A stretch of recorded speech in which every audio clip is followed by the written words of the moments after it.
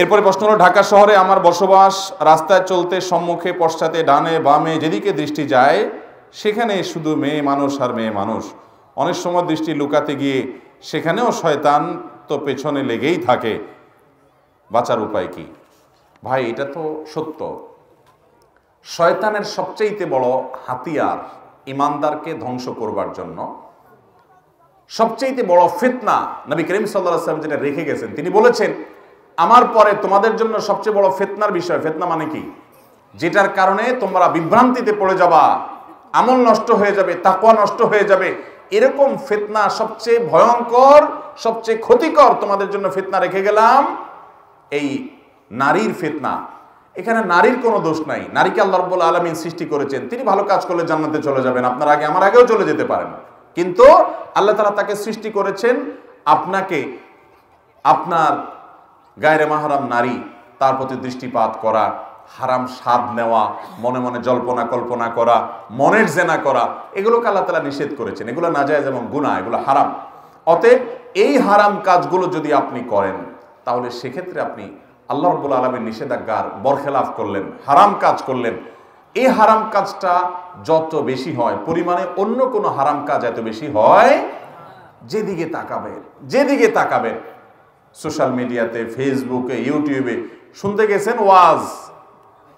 সেখানে কত কিছু আপনাকে শুনে দিচ্ছে।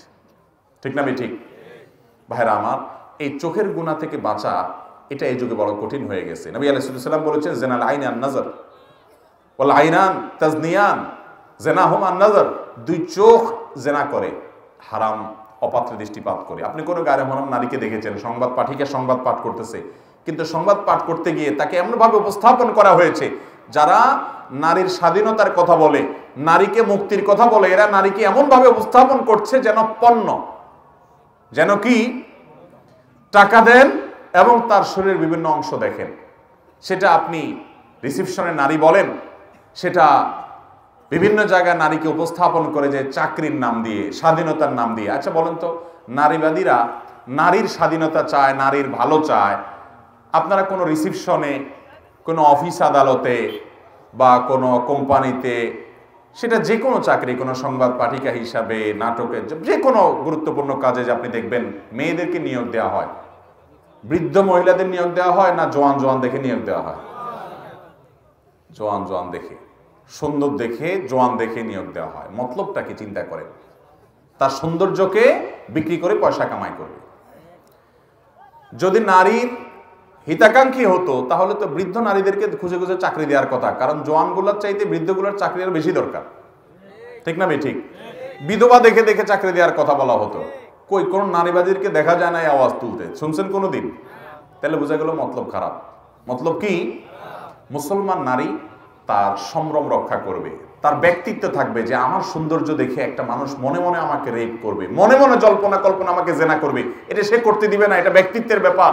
জালিকা আদনা হরফ না পর্দার বিধানই আল্লাহ তারা দিয়েছেন যে চেনা যাবে, এটা সম্ভ্রান্ত নারী, এটা বাজারের অন্য দশটা মহিলার মতো না মুসলমান।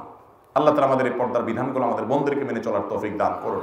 আর পুরুষদেরকে আল্লাহ তালা চোখের হেফাজত করার এই বিধান, নারীদেরও একই বিধান মেনে চলার তৌফিক দান করুন। এখন কথা হলো ভাই, চতুর্দিকে চোখের জেনা, কোন দিকে তাকাবো? এই জন্য আল্লাহর নির্দেশ মানতে হবে। চোখকে নিচের দিকে রাখবেন যথাসম্ভব।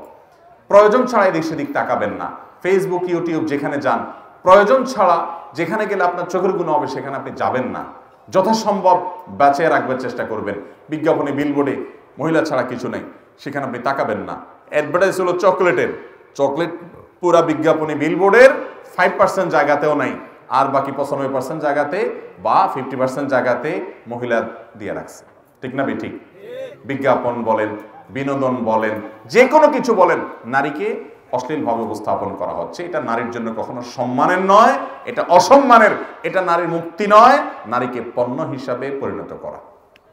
আল্লাহ তালা আমাদেরকে, আমাদের ইমান আমলকে হেফাজত করার তফিক দান করুন। যে জায়গায় গেলে চোখের গুণাতেই বাঁচতে পারব না, সেই জায়গায় যাব না। যদি যেতে বাধ্য হই, বাজারে যেতে হবে, উপায় নাই, তাহলে যাওয়ার আগে থেকে প্ল্যান করব যে এখানে বহু ফিতনা আছে, এটা মাথায় রেখে তারপর বিসমুল্লাহ তাক্কাল তাল্লাহ বলে হাঁটা দিব এবং নিজেকে নিয়ন্ত্রণ করার চেষ্টা করব। নজর হয়ে গেছে, আল্লাহর কাছে মাপ চেয়ে নেব। এই কসরত করতে করতে আপনি দুনিয়া থেকে চলে যাচ্ছেন তাকর উপরে থাকার চেষ্টাটা করতে করতে চলে গেছেন ইনশা আল্লাহ আল্লাহর কাছে মোত্তাকি হিসাবে আপনি সাক্ষাৎ করবেন।